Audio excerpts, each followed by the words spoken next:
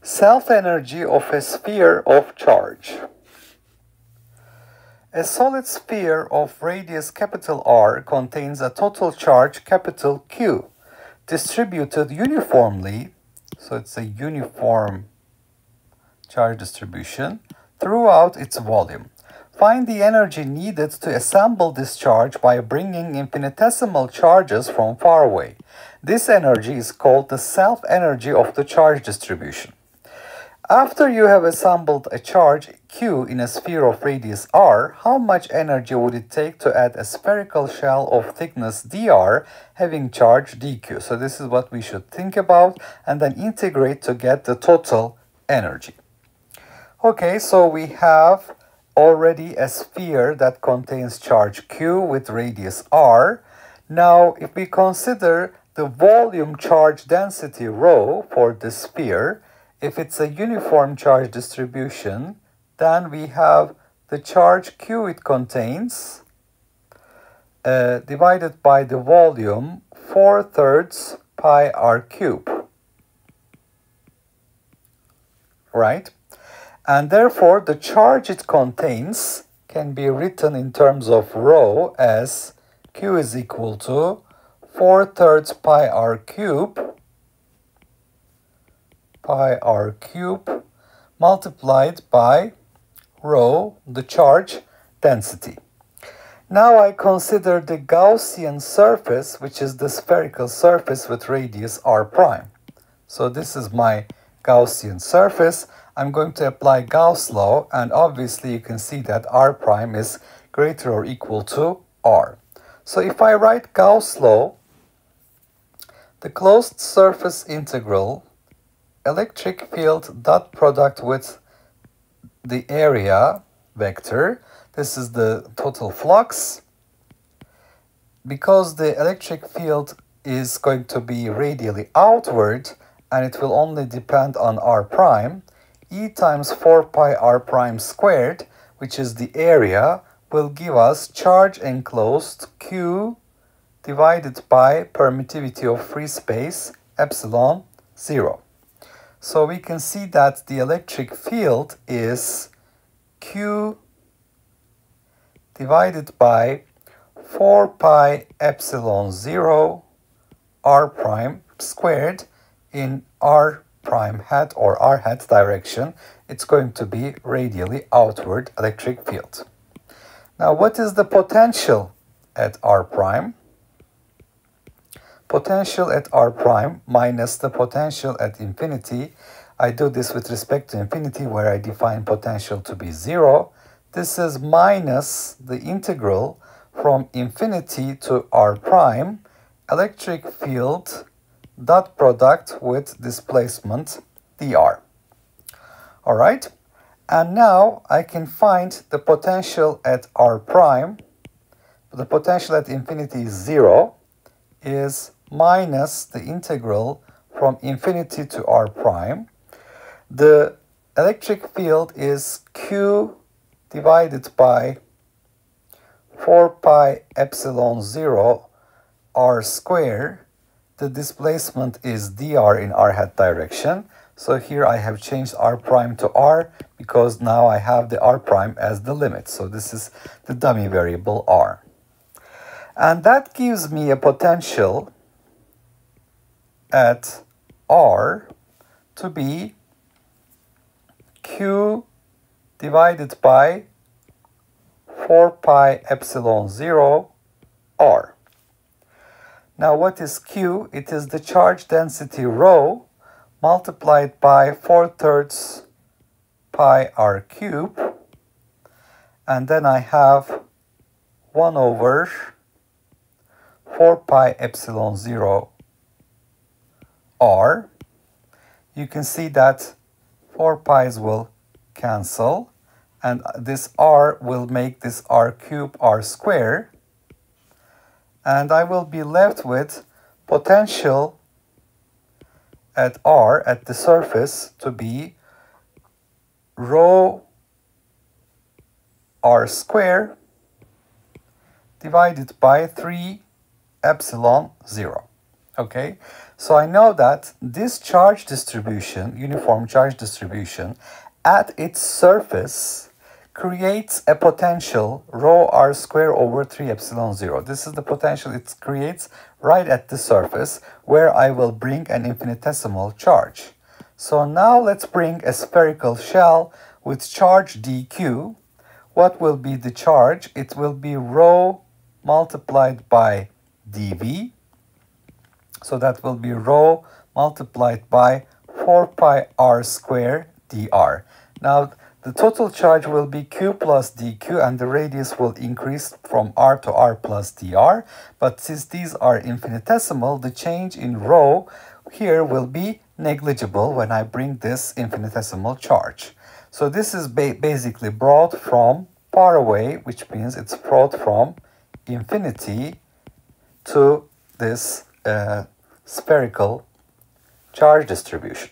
All right. So here is my original charge distribution, spherical charge with radius r. Now the radius becomes r plus dr. I brought this additional infinitesimal charge, which is rho dv. Okay. Now what will be the potential energy change? The change in the potential energy will be the potential I have at that point in space multiplied by the charge I'm bringing in, VdQ. The potential at a radial distance r from the center is rho r square divided by 3 epsilon 0. The charge that I'm bringing is rho times 4 pi r square dr uh, that's the volume dV 4 pi r squared dr. So the total potential energy of this configuration is done with small steps like this, bringing infinitesimal charges one by one. At each point I have uh, 4 pi over 3 epsilon 0 Now I have rho square integral 0 to capital R rho square r to the fourth power dr. All right. And this will be equal to 4 pi over 3 epsilon 0 rho square r to the 5 over 5 where this charge density rho is now total charge q divided by the total volume 4 thirds pi capital R cube.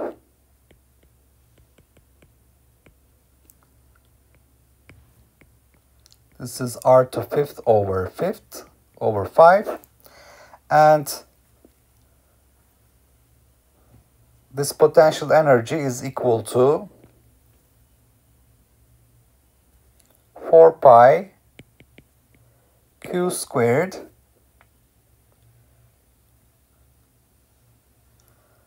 nine r to five capital R to five divided by 3 epsilon 0. Then I have 16 pi square capital R to the 6th power multiplied with 5. So this will make this 9, 3 and 4 pi will make this 16 pi square 4 pi and r to 6 and r to 5 will cancel so this will be just r left at the bottom Therefore, the potential energy of this configuration will be 3 over 5 1 over 4 pi epsilon 0 q square divided by capital R. So that will be the potential energy of this uh, configuration. And now you can see that when R goes to zero, this seems to suggest the potential energy will be infinite. So I note that as R goes to zero, the potential energy blows up. But bringing a point charge from infinity, since the initial potential is zero, when there is no charge, I bring a point charge, actually this will cost no energy. So this result that I've obtained here is valid only for a non-zero R. So this doesn't apply to a point charge that is being brought from infinity to a zero charge distribution because that would imply infinite potential energy. But you can see that if I have a non-zero R, so if I have if I don't have a point charge but I have a finite amount of charge, then it's going to uh, apply. Alright, so in this example, in this problem, we have considered a solid sphere of radius capital R containing a total charge Q distributed uniformly throughout its volume. And we're going to calculate the self-energy of this charge distribution. First of all, if you have already a sphere with radius r that contains charge q, what is the potential it creates at its surface? It is kq over r. So this I have verified by looking at Gauss law for a Gaussian surface with radius r prime greater than r, where the charge enclosed is q. So charge enclosed divided by epsilon 0 is the closed surface integral E dot dA, which gives me electric field is q over 4 pi epsilon 0 r prime square in r prime hat direction. The electric field vector points radially outward and it's parallel to the area vector. Now, knowing this potential at uh, R is kq over R, what is Q? It is the charge density multiplied by the volume, 4 thirds pi r cubed. So it is rho r squared divided by 3 epsilon 0. Now, if I bring a, a spherical shell with charge dq, this is going to have a total charge rho times 4 pi r squared dr. And that will be uh, when I look at the uh, potential energy change of this configuration, it will be the potential at that uh, point in space, which is at radial distance r, multiplied by the charge that I'm bringing to that point in space or collection of points in space, which is dq, v dq. So rho r square over 3 epsilon 0 is the potential I see. The charge that I'm bringing is rho times 4 pi r square dr. Now I note that this charge density rho actually depends on the total charge and the total volume. So I'm increasing the charge and the volume at the same rate so that I have the same charge density. So that this charge density is a constant, it's uniform, which is equal to capital Q divided by 4 third uh, pi capital R cube. So when I take this integral from 0 to capital R, so I'm bringing charges, uh, spherical shells containing charge dq every time uh, to, to this final uh, radius capital R, I will have obtained the total potential energy. The total potential energy of this configuration is 3 over 5, 1 over 4 pi epsilon 0 q squared over capital R. Now this capital R, when it is zero, this seems to suggest the potential energy is infinite, but we know that as r goes to 0, u goes to infinity, but if I bring a point charge from infinity to a no, no, charge distribution, zero charge, initial potential will be 0, so therefore it will cost no energy. So this result is actually only valid for a non-zero capital R value.